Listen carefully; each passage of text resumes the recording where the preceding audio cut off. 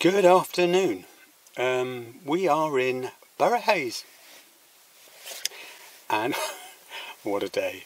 Um, it's been on and off raining um, practically all day. It's uh, eased off now, bit chilly, uh, and um, we're about to go off for a walk. But not quite sure whether or not it's going to stay dry, so we're going to wear our waterproofs. Just down the road, nothing special. But just a quick uh, vid to let you know that um, everything's fine. We've sold the uh, trailer, um, the uh, folding camper, to an, a really nice couple um, who have two little boys.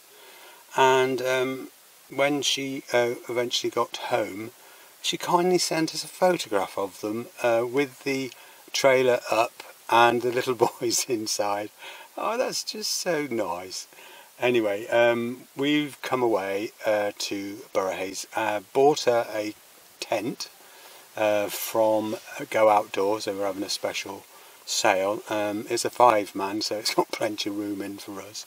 But it's like going back. It's like going back to when we first started. And wow, you know, I was a bit concerned because, uh, uh, you know, how do you go back to something when you've had a caravan and motorhome and uh, folding campers? it's just, anyway, it's really nice. And um, we're trying it out for the first time with the intention that if everything works out all right, and we've got a few ideas where we might want to uh, bring something else instead of the things that we brought, um, we are going to have a week in Derbyshire just to see how we get on. Uh, we're busy saving uh, to buy another caravan, which we hope we shall do perhaps within the year, and um, we're just going to use this for getting out and enjoying ourselves.